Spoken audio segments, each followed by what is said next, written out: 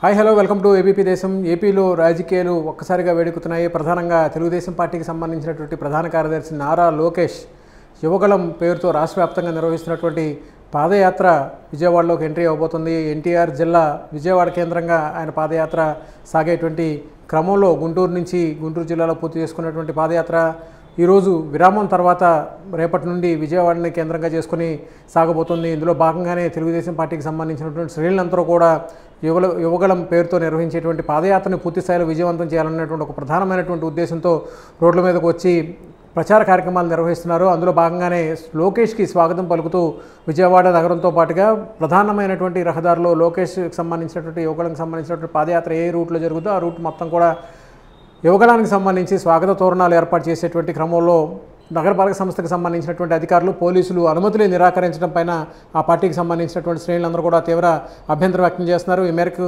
గతంలోనే మున్సిపల్ కార్పొరేషన్కి సంబంధించినటువంటి అధికారులకి అనుమతుల కోసం దరఖాస్తు చేసుకున్నారు.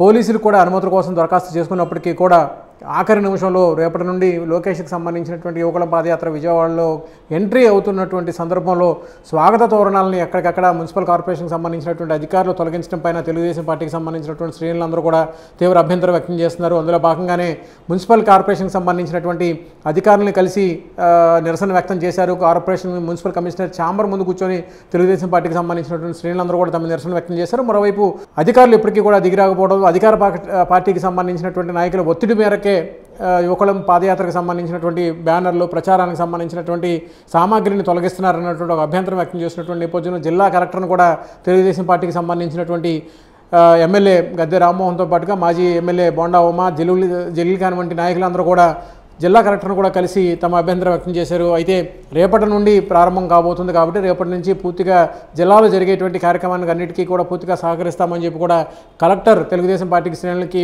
హామీ ఇచ్చినప్పటికీ కూడా గతంలోనే చేసుకున్నటువంటి ఏర్పాట్లని అధికారులు తొలగించడం అనుమతులు తీసుకుని ఏర్పాటు చేసినటువంటి ప్రచార సామాగ్రిని కూడా అధికారులు తొలగించారన్నటువంటి ఒక ఫిర్యాదు చేసినటువంటి నేపథ్యంలో తెలుగుదేశం పార్టీకి సంబంధించినటువంటి నేతలందరికీ కూడా నచ్చజెప్పేటువంటి ప్రయత్నం కలెక్టర్ చేశారు. అయినప్పటికీ కూడా అధికారులు వ్యవహరిస్తున్నటువంటి తీరుపైన టీడీపీకి సంబంధించినటువంటి శ్రేణులందరూ కూడా తమ నిరసన వ్యక్తం చేశారు. మరోవైపు రేపటి నుంచి ప్రారంభమయ్యేటువంటి లోకేష్ యువకులకు సంబంధించినటువంటి పాదయాత్ర గుంటూరు జిల్లా నుంచి ప్రకాశం బ్యారేజ్ మీదుగా ఎంటర్ అవుతుంది. ప్రకాశం బ్యారేజ్ మీద నుంచి రథం సెంటర్ దగ్గరికి వస్తుంది. అక్కడి నుంచి సిటీలో నుంచి వచ్చి ఏలూరు రోడ్డు మీదుగా చుట్టుకుంట మీద నుంచి ఇందిరాగాంధీ స్టేడియం రోడ్డు మీదుగా బంద రోడ్డు మీదుగా వెళ్ళి పోరంకి దగ్గర సభ నిర్వహించేటువంటి అవకాశం కూడా ఉంది. ఈ రూట్లో వెళ్ళేటువంటి క్రమంలో తెలుగుదేశం పార్టీకి సంబంధించినటువంటి శ్రేణులందరూ కూడా భారీ ఎత్తున ప్రచారానికి సంబంధించినటువంటి హోర్డింగ్లు ఫ్లెక్సీలను ఏర్పాటు చేశారు. వాటిని వాటన్నింటినీ కూడా తొలగించడం పైన టీడీపీకి సంబంధించినటువంటి శ్రేణులు తమ నిరసన వ్యక్తం చేస్తున్నారు. మొత్తం మీద చూసుకుంటే లోకేష్ పాదయాత్రకు సంబంధించినటువంటి ఘట్టం విజయవాడ కేంద్రంగా వస్తున్నటువంటి నేపథ్యంలో ప్రతిష్టాత్మకంగా తీసుకుని తెలుగుదేశం పార్టీ విజయం చేయాలి విజయవంతం చేయాలన్నటువంటి చేసినటువంటి ప్రయత్నం. దానికి కౌంటర్గా అధికార పక్షం నుంచి బ్యానర్లకు సంబంధించి ప్రచారానికి సంబంధించినటువంటి పోస్టులు తొలగించాలన్నటువంటి ఒక రాజకీయపరమైనటువంటి వ్యవహారం తెర మీదకి వచ్చినప్పుడు వచ్చినటువంటి నేపథ్యంలో విజయవాడ కేంద్రంగా లోకేష్ యుగలం పాదయాత్ర రాజకీయంగా పూర్తిగా చర్చనీయాంశంగా మారింది.